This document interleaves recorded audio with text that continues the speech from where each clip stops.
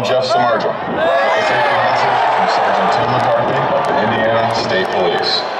Fans, after the game, thousands of vehicles, all departing at the same time, require the very best and safe driving. Be patient, watch your speed, always stay alert, and please be careful. And remember, we're giving you this pitch so that you don't strike out.